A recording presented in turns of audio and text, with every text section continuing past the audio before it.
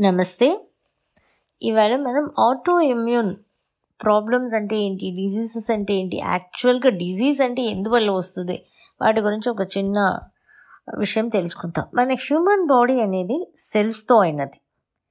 ఎవరికైనా చిన్న అయినా అంత హ్యూమన్ బాడీ అంటే సెల్స్తో అయినది. అనిమల్స్ కానీ ప్లాంట్స్ కానీ అన్నీ సెల్స్తో అయినదే. మనం ఇక్కడ హ్యూమన్ బీయింగ్స్ గురించి తీసుకుందాం. సో మనం ఇప్పుడు సెల్స్తో అయి ఉన్నాం. ఇప్పుడు నేను నా బాడీ కంప్లీట్గా ఒక ఇళ్ళని ఇటుకరాళ్ళు పెట్టి కట్టినట్టుగా నా బాడీని ఒక సెల్స్ ఒక్క సెల్గా ఫామ్ అయిన నేను సెల్స్ మల్టిప్లై అయ్యాయి. మల్టిపుల్ సెల్గా అయ్యి హ్యూమన్ బాడీ అనే దాన్ని కట్టి నైన్ మంత్స్ తర్వాత బయటకు వస్తాను. ఇదే అందరి హ్యూమన్ బాడీలో జరుగుతున్న విషయాలు. ఒక్కొక్క ఇల్లు ఒక్కొక్క మోడల్గా ఉంటున్నట్టుగా ఒక్కొక్క హ్యూమన్ బాడీ ఫేస్ ముక్కొకలా కళ్ళు ఒకలాగా ఇలా షేప్స్ మారుతాయి. ఇల్లు అన్నీ ఒకటే యూనిఫామ్గా కట్టదు కదా. ఇల్లు అంటే ఇల్లే. ఇటుకరాళ్ళే ఇటుకరాళ్ళే పెట్టి కడుతున్నాం. కానీ ఒక్కొక్క మోడల్ మోడల్ హౌసెస్ ఉంటున్నట్టు. అప్పుడే కదా చూడడానికి కూడా బాగుంటుంది మనకి. అలాగా మన హ్యూమన్ బాడీ కూడా అన్ని కళ్ళు ముక్కు అందరికి అన్నీ ఒకటే. కానీ ఆ షేప్స్ ఆ కలర్స్ ఆ వేరియేషన్స్ చిన్న చిన్న చిన్న మైన్యూట్ డిఫరెన్స్ వల్ల ఇది వే ఇది వేరే అది వేరే వీళ్ళు వేరే వాళ్ళు వేరే అన్న డిఫరెన్షియేషన్ మనకి తెలుస్తుంది. అది హ్యూమన్ బాడీ. ఇది అందరికీ తెలుసు కదా human body is made up of cells. ఈ సెల్స్ అని అంటే సెల్స్లో ఏమేమి ఉన్నాయి? సెల్ మెంబ్రెయిన్ ఉంటుంది న్యూక్లియస్ ఉంటుంది ఆ ఇన్ బిట్వీన్ రెండిటికి సైటోప్లాసం ఉంటుంది ఆర్గనల్స్ ఉంటుంది గాల్గి బాడీస్ ఉంటుంది వ్యాక్యూల్ ఉంటుంది ఎండోప్లాస్మిక్ రెటికులం ఉంటుంది రైబోజోమ్స్ లైజోసోమ్స్ ఇంకా మైటోకాండ్రియా ఇవన్నీ ఉంటాయి. అన్ని సెల్స్కి ఒకటి ఉంటాయి. అన్ని సెల్స్కి కావలసింది ఏంటంటే ఫుడ్ మనం తీసుకున్నది ఎనర్జీగా కన్వర్ట్ అయ్యి బ్లడ్లో వెళ్తున్నప్పుడు ఆ బ్లడ్లో నుంచి తీసుకొని ప్రతి సెల్లు రిజ్యువినేట్ అవుతాయి. ఈ రిజ్యువినేట్ అయ్యి ఇవేం చేస్తాయి? ఇప్పుడు ముక్కు సెల్స్ అంతా నేను ఈ స్మెల్ చూసే పని చూసుకుంటా. కళ్ళు సెల్స్ అంతా ఏం చేస్తే నేను చూసే పని చూసుకుంటా. చెవులంతా నేను విని వినే పని చేసుకుంటా.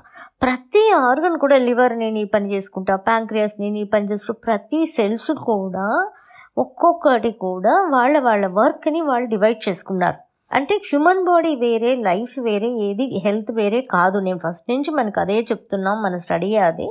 ఇప్పుడు ఒక ఫ్యామిలీలో హస్బెండ్ వైఫ్ పిల్లలు ఉన్నారని అంటే హస్బెండ్ ఎర్న్ చేసుకోవచ్చే పని చూసుకుంటారు వైఫ్ వంట చేసి పిల్లలు చూసుకునే పని చూసుకున్నారు పిల్లలు చదువుకునే పని చూసుకుంటారు. కొంచెం పెద్దవాళ్ళు అయ్యాక నువ్వు కరెంటు బిల్లు కట్టరా నువ్వు గ్యాస్ తీసుకురా నీ ప్రొవిజన్ తీసుకునే పని ఇలా ఒక్కొక్కరు ఒక్కొక్కరు వాళ్ళ వాళ్ళ పార్టీకి వాళ్ళ వాళ్ళ వర్క్ని స్ప్లిట్ చేసుకుంటాం.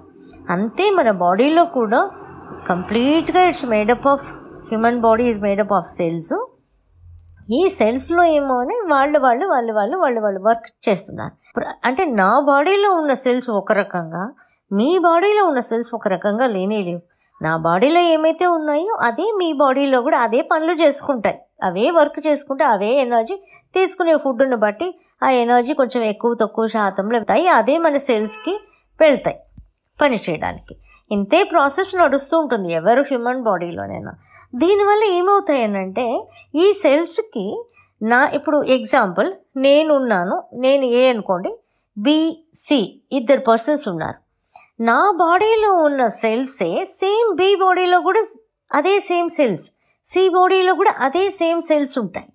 ఇప్పుడు ఈ వీటికి మనమైతే భేదం అనుకుంటాం. వాళ్ళు వేరే వీళ్ళు వేరే అనుకుంటాం. కానీ సెల్స్ వరకు ఏమిటంటే ఇటుకరాళ్ళ వరకు ఏంటంటే అన్ని ఇటుకరాళ్ళే కదా. ఏ బిల్డింగ్లో పెడితే దాన్ని బట్టి అది ఇది షేప్స్ మారినాయి కానీ ఇటుకరాళ్ళు ఇటుకరాళ్ళే కదా. సెల్స్కి అటువంటి భేదం ఉండదు. అవేంటాయి? నా ఈ సెల్స్ ఆ సెల్స్ చాలా ఫ్రెండ్లీగా ఉండాలనుకుంటాయి. అది న్యాచురల్గా జరిగిపోతాయి అన్నమాట ఫ్రెండ్లీగా ఉండడం అనేది.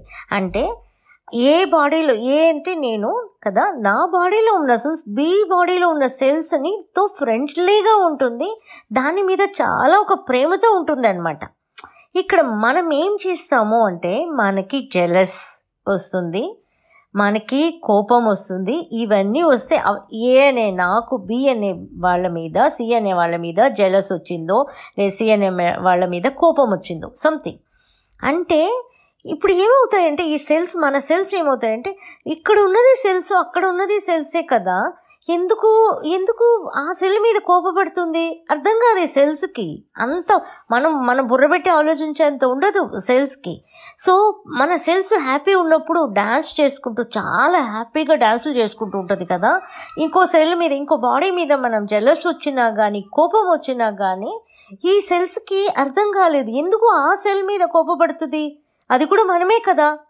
ఇక్కడ కొంచెం కన్ఫ్యూజ్డ్ ఉంటుంది ట్రిక్ ఉంటుంది కానీ అన్ని సెల్స్ ఒక్కటే అంతే మీరు అర్థం చేసుకోవాలి. అంటే ఇక్కడ చెప్పదలుచుకున్నది ఏంటంటే ఒకరి మీద జెలస్ ఒకరి మీద యాంగర్ ఒకరి మీద మనకి ఇలాంటి గుణాలు వచ్చినప్పుడు మన సెల్స్ కన్ఫ్యూజ్ అయ్యి ఆ సెల్స్ మీద కోపపడుతున్నాం కదా. ఇదేమనుకుంటున్నా అయితే ఆ సెల్స్ మీద కోపపడుతున్నప్పుడు మన మన లోపల ఉన్నది కూడా మనం కోపపడమే అని తీసుకుంటుంది నిర్ణయం అనమాట ఎందుకంటే అన్ని సెల్స్ ఒకటే అని నిర్ణయం దీనికి తెలుసు కాబట్టి. అప్పుడు తన సెల్ తన బాడీలో ఉన్న సెల్స్ని ఒకదాని ఒకటి చంపుకోవడమే ఈ ఆటో ఇమ్యూన్ డిజీజ్ అంటారు. అంటే ఇది ఎక్కడ స్టార్ట్ అవుతాయంటే మన క్యారెక్టర్లో జెలస్ ఉన్నా యాంగర్ ఉన్నా ఒకరి మీద ఓర్వలేని తనం ఉన్నా ఏదైనా ఇలాంటి అవతల మనిషిని మనం ప్రేమించకుండా పోయినప్పుడు ఈ ఆటో ఇమ్యూన్ డిజీజ్ అనేది స్టార్ట్ అవుతాయి. ఓకే? ఆ సెల్ని చంపే బదులు మా ఇది ఒక- అన్నీ ఒకటే కదా అనుకుని మన సెల్ని ఒకటి ఒకటి చంపుకుంటాయి. ఓకే ఇప్పుడు ఆటో ఇమ్యూన్ డిసీజ్కి సొల్యూషన్ ఏంటి? మనం ఆల్రెడీ చెప్పినట్టుగా పల్స్ బ్యాలెన్సింగ్ ఒకటి ఉంది. ఎలా ఫుడ్ తీసుకోవాలో చెప్పున్నాము. సెకండ్ ఏంటంటే ప్రతి మనిషిని ప్రేమించడం నేర్చుకోవాలి మీరు ప్రేమించినప్పుడు అవతల మనిషిలోని సెల్స్ని ప్రేమిస్తారు అని మన బాడీలోని సెల్స్కి ఇండికేషన్స్ వచ్చేస్తాయి. అప్పుడు ఆటోమేటిక్గా ఆ ఆ బాడీలోని సెల్స్ ప్రేమించినప్పుడు ఓ సెల్స్ని ప్రేమించాలి అన్న అన్న జ్ఞానం అన్న ఒక కాన్షియస్నెస్ సెల్కి రావడం మొదలవుతుంది. అయినప్పుడు మన బాడీలోని సెల్స్ని ఒకటొకటి కొట్టుకోకుండా ఒకదానొకటి ప్రేమించుకోవడం. అవి స్టార్ట్ అయినప్పుడు ఈ ఆటో ఇమ్యూన్ డిసీజెస్ చాలా ఈజీగా క్యూర్ అవుతాయి. కానీ ఇప్పటివరకు ఏ మెథడాలజీలో ఆటో ఇమ్యూన్ డిసీజెస్కి క్యూర్ లేదు. కానీ ఒక్క మీరు లవ్ ప్రేమించడం వల్ల మాత్రమే ఆటో ఇమ్యూన్ డిసీజెస్ మీ సెల్ మీ సెల్ని ప్రేమించడం స్టార్ట్ అవుతాయి. సో ఇది చాలా కష్టం ఈజీ రెండూ చెప్పొచ్చు.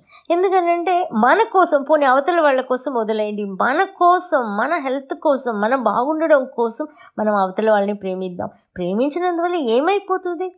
హేట్రెడ్ వల్ల ఏమో ఏమొచ్చింది మనకి? మనకి చాలా నష్టమే వచ్చింది. ప్రేమించడం వల్ల మనకి మంచి జరుగుతుంది కదా?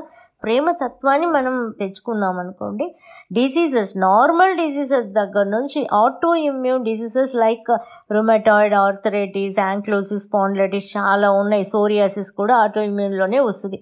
ఇవన్నీ కూడా మనకు తెలియకుండా మన దగ్గర ఉన్న ఈ మైనసెస్ క్యారెక్టర్ని మనం సరి చేసుకునేటప్పుడు ఆటోమేటిక్గా మనం మంచి హెల్త్ పొందుతాము. ట్రై చేయండి. అందరినీ ఒకరిని ఒకరు ప్రేమించడానికి ట్రై చేయండి. First of all love is the medicine for auto immune ఈ డిజీజెస్ వీడియో కనుక మీకు నచ్చినట్టయితే లైక్ చేయండి షేర్ చేయండి కమెంట్ చేయండి సబ్స్క్రైబ్ చేయండి అండ్ బెల్ ఐకాన్ ప్రెస్ చేసుకోండి so that you don't miss any of our videos